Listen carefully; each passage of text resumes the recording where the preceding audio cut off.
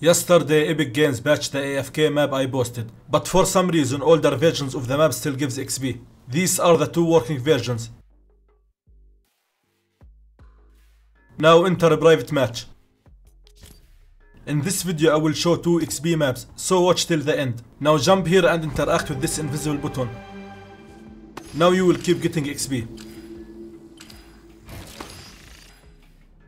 This is the second map.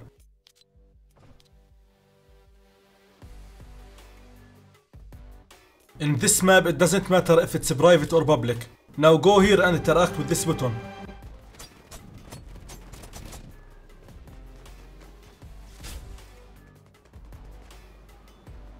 Now you will keep getting XP.